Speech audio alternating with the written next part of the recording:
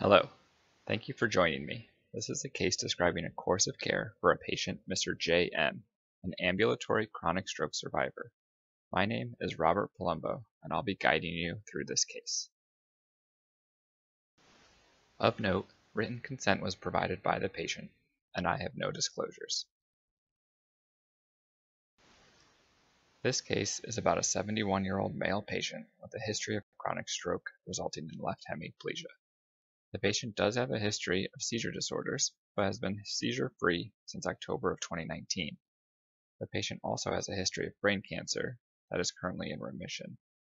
The patient was independent with household ambulation and limited community ambulation, but with the onset of COVID has been requiring assistance for transfers and is using a manual wheelchair for locomotion. He recently moved to a skilled nursing facility for increased assistance.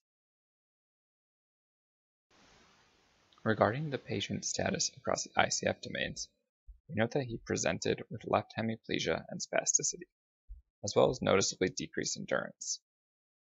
He was becoming less active and no longer felt safe walking without assistance. As a result, he had to move out of his home and into a skilled facility. Other factors of note are the patient's multiple neurologic conditions and his history of smoking. The patient did have notable beneficial environmental and personal factors, including consistent transportation and high motivation. We also note here the patient's performance on various outcome measures and mobility measures. These will be discussed in future slides. This video shows the patient's second attempt at walking in our clinic.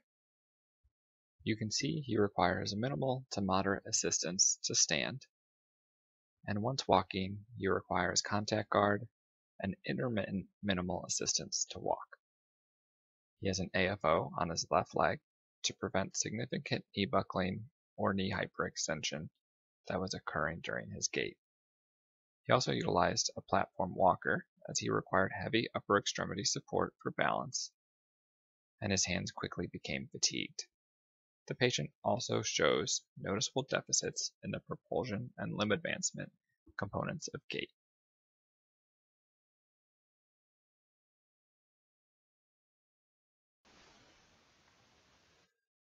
If we look at the patient's mobility further along but still early in their plan of care, we can see a more clear deficit in stance control at the ankle as the patient demonstrates significant inversion. In the sagittal plane, we would also note hyperextension at the knee during left stance, and we continue to see decreased cadence and limited limb advancement at this point in time. This slide notes the patient's initial scores on outcome measures and mobility assessments. We can see that the patient would be placed into a high fall risk category and be considered a non-functional ambulator. We can also see that the patient needs assistance with walking and transfers, and would be unable to do stairs at this time. Of note, Mr. JM had relatively modest goals at the start of treatment, mainly to assess DME needs and decrease caregiver burden.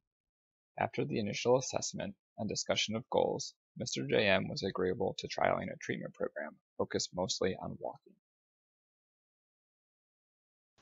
Our intervention selection was largely guided by the 2020 Locomotor Clinical Practice Guideline for ambulatory patients with chronic neurologic injuries, including stroke. We aimed to implement the CPG's first action statement, specifically providing gait training at cardiovascular intensities above 70%, age predicted heart rate max. We also considered resources beyond the CPG, we noted research in the chronic stroke population that suggests including stepping variability may have additional benefits. Further, Mr. JM wanted to improve his transfers. We knew there is evidence from the subacute stroke population that there may be transference to non-locomotor domains following focused stepping training, despite not specifically practicing them. We hoped our patient would see a similar carryover effect.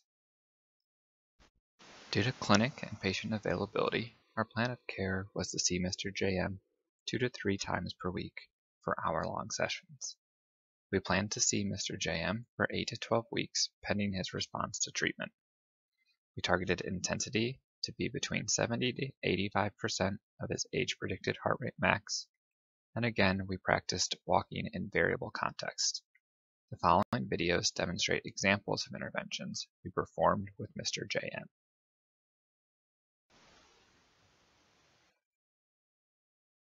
This video shows an initial session for Mr. JM. Here, we are cueing Mr. JM to take larger steps, challenging his limb advancement. You can see that while this task may not seem like much, Mr. JM is reaching his target heart rate of greater than 70% heart rate max. As his mobility continues to improve and we become more familiar with Mr. JM, we are able to more fully challenge multiple subcomponents of gait and also further drive his intensity. In these videos, taken just two weeks later, you can see that we are challenging Mr. JM's balance through the use of multidirectional stepping. In this case, both lateral stepping and backward stepping. We further challenge Mr. JM's balance by using a straight cane rather than a rollator. And we again are challenging Mr. JM's limb advancement with the use of a 10 pound ankle weight throughout all of his variable stepping. You can see in both of these videos, Mr. JM is well into his heart rate zone at 77 and 78% heart rate max.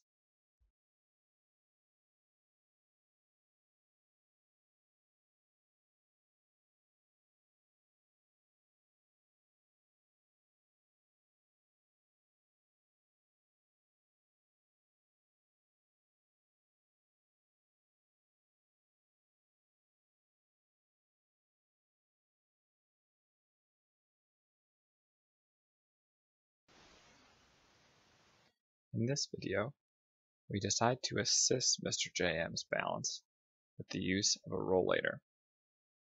By assisting one subcomponent of gait, we can further challenge other subcomponents. In this case, we are again challenging Mr. JM's limb advancement with the 10 pound ankle weight, but we are also challenging his propulsion with the use of a band and therapist provided resistance. Mr. JM has to propel through the resistance in the forward direction.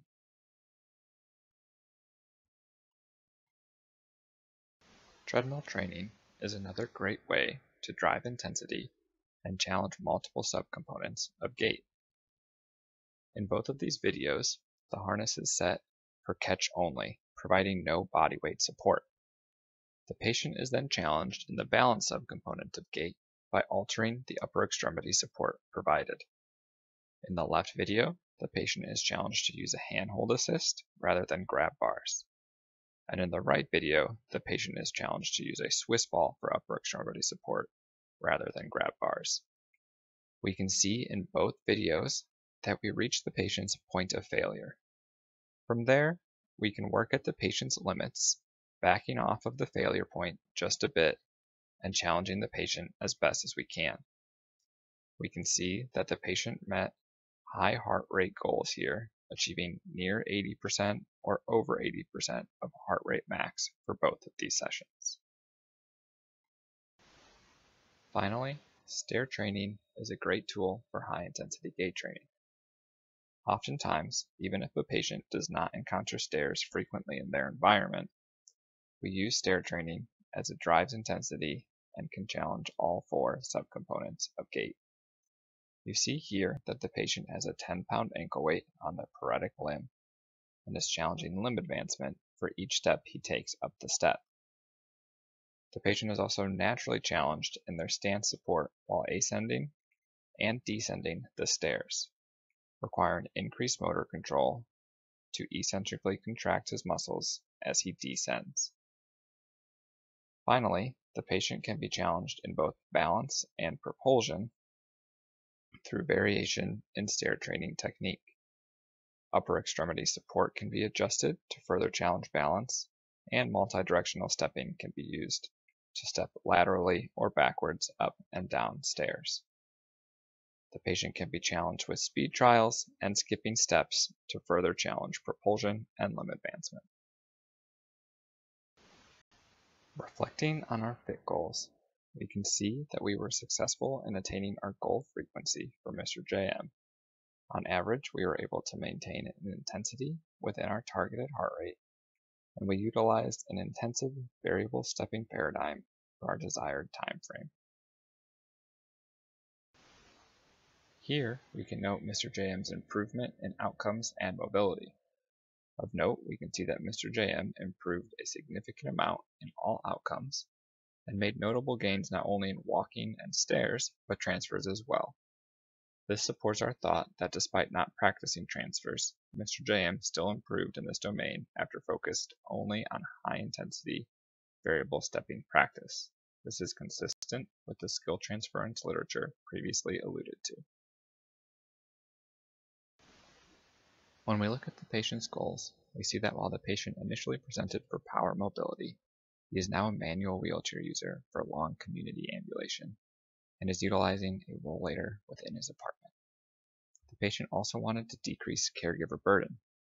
After treatment, he is living with his son and wife, requiring supervision only for the stairs. The patient initially hoped to be able to stand independently and was unsure of walking. Now, he is independently standing and transferring to his wheelchair or rollator and is able to walk in the apartment, no assistance required. All these improvements allowed the patient to leave his assisted living facility and return to an apartment with his family, a goal he was unsure was even possible at the start of our plan. Mr. JM had planned to return to further improve on his gains, however, due to unrelated health complications, has been forced to put therapy on hold for the time being.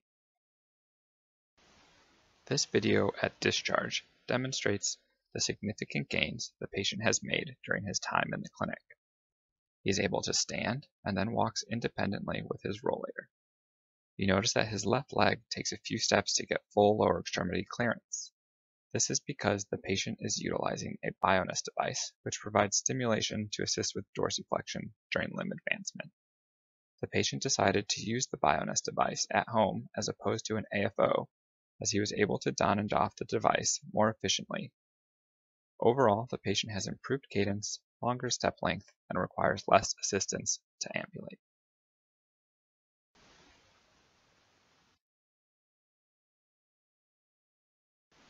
Thank you for taking the time to hear this case. Hopefully it provided an example of clinical reasoning when implementing high-intensity gait training. Please feel free to email me if you have any questions. Thank you.